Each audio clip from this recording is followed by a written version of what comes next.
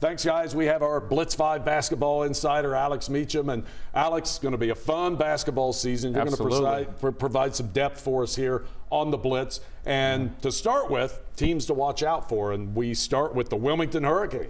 Led by Jarron Cumberland, UC commit. Strong kid, reminds me of Eric Hicks. Uh, real, real tough on the inside, but more of a bigger guard. They're going to be a tough out in the tournament because they're just they're going to have an extremely balanced team this year. Mason Comets, we know they were good last year. Always good, coached by Coach Richards. They have a kid named uh, Kyle Lamont, who's a wing kid, can shoot the three, drive to the basket, dunk on people just like you used to back yeah, in the day. Sure, no, maybe you at Roger Bacon. Elder, Joe Schoenfeld, been there, done that. He's been a coach for a while. Absolutely. On paper, they might have one of the best uh, lineups around the city. Uh, they have a 6'11 kid, Nate Rell. They have the leading scorer in the GCL back, and Ryan Custer, one of the best players in the city, in my opinion, 6'7 wing kid going the Wright State.